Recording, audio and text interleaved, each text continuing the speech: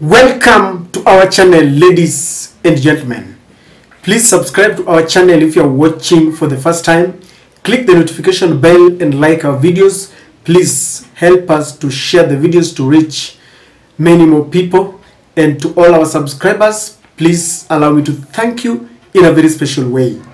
Ladies and gentlemen, defending William Samoei Ruto is becoming very difficult. William Ruto has opened an all-out war with anybody who has got a contrary opinion to his. Recently, he warned the judiciary, he warned the judges who are making rulings and verdicts that go against his wishes. Before that, he had said that people will know that he's got a sword to deal with them. Now, the statements against the judges attracted a lot of condemnation, and every Kenyan of goodwill castigated William Samoei Ruto. There are only a few, let me call them a clique, who are stuck with him. Mostly the members of parliament from Mount Kenya. I've seen people like Alice Wahome still trying to perpetuate the narrative of sabotage against William Ruto's development agenda. I've seen Kimani Chungwa, Ndindi Nyoro. Mount Kenya, let me tell you this. Your leadership, your members of parliament have been given a trap. There is a trap that William Ruto has set. And this is a trap called succession politics. They will not talk hawatawatetea because they have been told that they must support William Ruto so that when William Ruto is done with his two terms, then they will take over.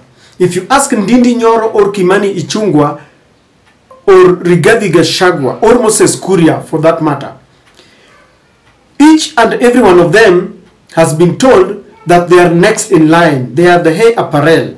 And this is slavery. Because for five years, they will be dancing to William Ruto's tune because they want to inherit his constituency, to inherit the presidency. But let me tell you, betrayal is one thing that we are not very unfamiliar to. We've seen betrayal before. Don't come back and cry to Kenyans that you've been betrayed.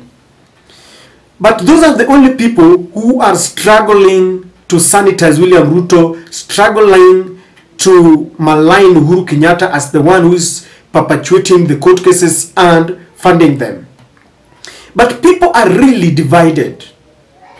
The Law Society of Kenya castigated William Ruto and even called for a mass protest. The opposition, including those who have never been friendly to the courts or to Madam Koome, they were united and they were fighting for the good of the Kenyans. One person who shocked many is Mutahi Ngunyi. Mutahi Ngunyi offered unsolicited support in an environment where everyone, including those who have been supporting William Ruto, and he said, Dear Ruto, you have, he went to his Twitter handle and said, Dear Ruto, the judiciary is corrupt to the core, and from the core. Kiraitu Murungi fired 30 judges in 203 for corruption. As the executive, you must drain this swamp. Do it for the people despite the people. One man with good with God is in the majority. Drain the swamp. That was his advice. One person was watching very closely. The fiery Miguna Miguna. You know how Miguna takes a position when he believes in something and he didn't spare Mutahi Ngunyi. This is what Miguna said. Mutahi Ngunyi, you are not qualified to advise anyone about corruption. You are rotten to the core. you stole public money through the NYS scandal, but you haven't been punished for it. You intentionally burnt down your house a few years ago and stole insurance money. The two sons of Kenyans. One is a barrister. By the way, Miguna likes to be called a barrister. The other is a political scientist. Mutahi Ngunyi is telling William Ruto Do it for the people despite the people. Do it for the people who wants it, who wants it, despite the people who are opposed to it. And he's said, telling him, drain the swamp. He's talking about something that happened in 203. We are in 2024 for that matter. 11 years down the line, Mutahi Ngunyi wants to tell us that we have not undergone any radical changes. And Miguna did not have these kind words for him. Miguna is saying that he stole NYS scandal, and there was a time when his house was burnt, and people really exposed Mutahi Ngunyi. And they said he burnt his house for some sympathy and some political mileage. One common thing between Miguna and Ngunyi Mutahi is that they love tweets. They always tweet. And I say sometimes they're psychophants. Miguna was opposed to William Ruto. And because of his political differences with, the Raila Odinga, he switched camp and he is now supporting William Ruto. Nguni Mutahi was with Uhuru Kenyatta. And for some reasons that only him can explain, he switched camp. Now, one good thing about Miguna Miguna is that Miguna is sometimes alive to some facts. When you cross your line, when you when you go beyond the border, he will call out on you and he will not spare you. You know, there's something that we really need to put, you know, crystal clear.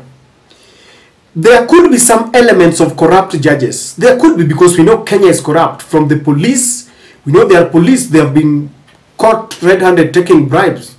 From where you sit, from where you stay, you see them collecting money from the bars and wines and spirits around you. These are things that we know. But there are good elements and bad elements in it. That is the same thing with the judges.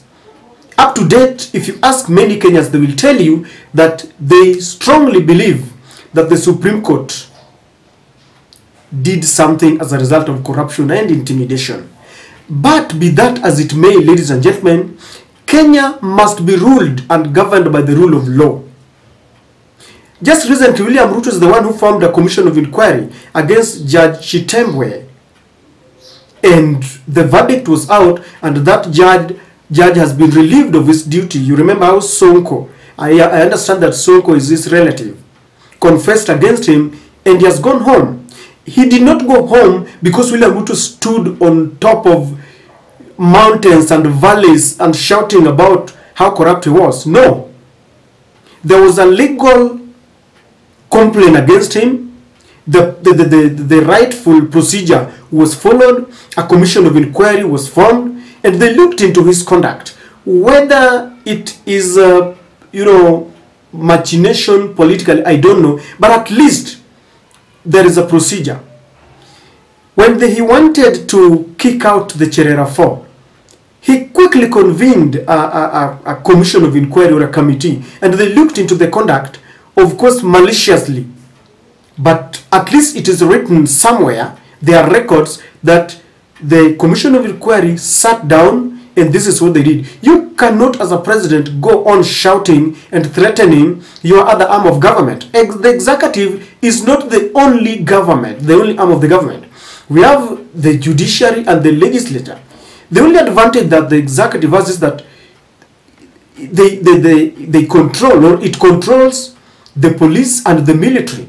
And so there is that kind of authority that he has. That is why parliament has been muzzled and they cannot talk. But you cannot threaten our judges. There should be the right way or the, the right procedure of uh, clipping down those who you feel are corrupt. The right procedure. Number two, if we allow the government or the president to start threatening people, he will deal with the judiciary, and next it will be those who are supporting him now. And they will be crying out for help. When Madam Koome gave Ruto his win and called out on Raila, Raila's quest for justice as wild goose chase, she did not know that just one year down the line, she will be the victim. And I was shocked that it is Raila who was leading the march to castigate William Ruto for trying to intimidate the Koome team. and I think she must learn. Those who are supporting William Ruto, very soon, the axe will fall on you. An injustice to one person is an injustice to all, ladies and gentlemen. Let me tell you that. If you think I'm lying, ask the Kikuyu youths who are told they were hustlers, who are told that when people went to the streets, it was their businesses that we were targeting. Recently, they were taken to a small space, a small cell, over 300 of them, almost suffocating just because they're Kikuyu youths. And then they were baptized. They were no longer hustlers, but Mungiki. Some of them were saying we just we were from our errands and businesses, then we were caught up in the melee, and here we are in police cells. They did not understand that one day the government will not be following up Otieno and Onyango and Wanyama, but they will be looking for Kamau and Njoroge. Njor- I mean, let us always try to support that which follows the law. An impunity on someone is an impunity to all of us. Let us learn. Mutahi Ngunyi belongs to a class of people who are full of bootlicking. The president is always right. You cannot look at the president and tell, tell him, no, you are wrong here. But it happens even when, people, when people are fighting to kick out the colonial masters. We have those who collaborated with the, with the masters. Even in places of work, you've seen these people who will always go behind you and they start talking about you with your bosses. These are characters, and for a community and a society to be complete, we have such people. They, they fight for their own good, self-aggrandizement. As long as mimi nimepata yangu, haijalishi wengine wanaendelea aje. Umepewa yako kidogo, wengine wana, wanaendelea na njaa, so unatetea the president. But it is not good at all. For our country to grow in this century, we have to call out on the president. I remember sometimes Nguni Mutai used, used to call out on the president. Very many people have been asking me this question. If Raila was in power, would we be calling him out? Let me tell you something. An emphatic yes. Even if it was my brother who was sitting on that seat and is not following the law, he is increasing taxes, he is threatening people, he is uh, listening to IMF and the World Bank and listening to, to Joe Biden. I will call him out because it is not about your brother, it is not about Modo. It is not about Oduadu. It is about a president who unites all Kenyans. That is all we want. Today, I have repeated that if William Ruto had reduced the taxes and the cost of living had been reduced, if at all he had lived to the fact of all the promises that he gave to Kenyans, we would be talking this way. But he's pushing people to talk. If you think I'm joking or I'm lying, look at now Koome. Did you ever imagine that Koome would release a statement against William Ruto? And it is not about William Ruto, the father of Charlene Ruto. No, this is about William Ruto, the president of Kenya. You see, there are two different people. We are not against, we don't have any personal vendetta against William Ruto, the husband to Rachel. No. We respect him. By the way, where we come from, we are taught to we are, we are we are taught to respect others.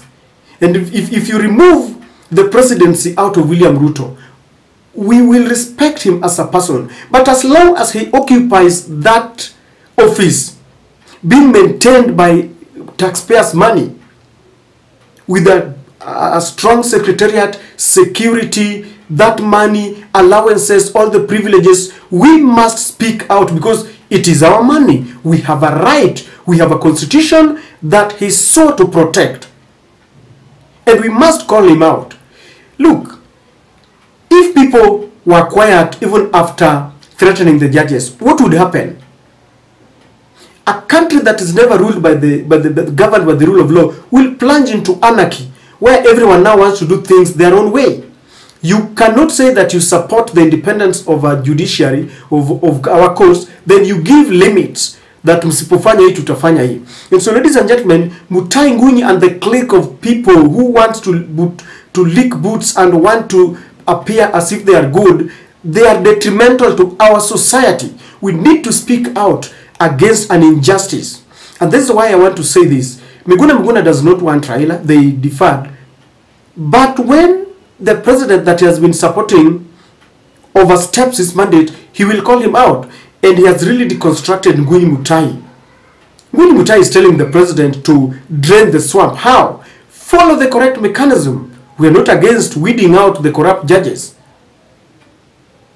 But corruption is not only in the judiciary. The executive is full of corrupt people. People have been taken from jail, people who, are, who had been jailed. The Arror Kimwarer dam case was done with and the judge who was handling the case said it was sabotage.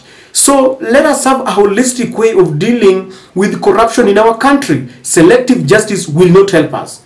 Ngunyi Mutahi, when history will be written, I don't know which side of history will you be. Are you for the people who are oppressed or you are dining and sleeping with someone, the oppressor? I don't know.